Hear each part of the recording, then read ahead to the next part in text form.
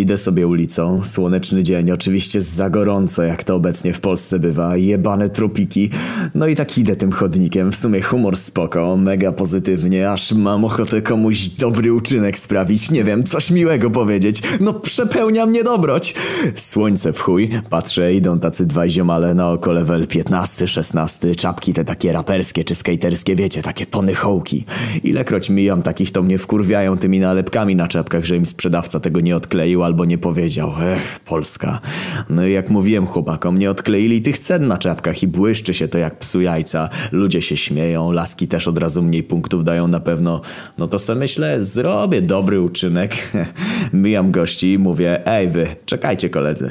Oni tacy speszeni patrzą, ja podbijam do ziomeczka, mówię, czekaj chwilę. I mu czapkę zdejmuję, a ten, co pan robi proszę pana? Spokojnie, zobacz, masz tu metkę taką chujową okrągłą z brokatem jakąś i cenę, nikt ci nie powiedział chyba. Pedalsko to wygląda. I jeb mu to ogrywam. Odklejam tak ładnie, żeby klej nie został, gnę tę gównianą cenę na złotej folii i wyrzucam, akurat śmietnik stoi. Kurwa, ale okrągłe naklejki robią po chuja. Patrzę na ziomka zadowolony, że gość podziękuje, no i widzę już ma łzy w oczach. Zbladł trochę, se myślę, od słońca udar czy co? Z tyłu jego kolega. Proszę pana, co pan robi? Niech pan odda tę czapkę. Spojrzałem na gościa, a ten jak stał obok nas, tak teraz 20 metrów dalej jest. Pewnie jebany specjalnie se z kumpla śmieszkował i mu o tej metce i cenie nie powiedział. Nie lubię takich skurwiów. Odzywa się ten, co mu czapkę odjebałem perfekcyjnie, takim ściśniętym głosem, no zaraz się rozpłaczę. Dopiero teraz zwróciłem uwagę, że gość ma dziewiczy wąsik. Nie dziwię się, że mu nalepki na czapce nie przeszkadzały, taki trochę lamus. Ale moja czapka! Co pan zrobił, kurwa?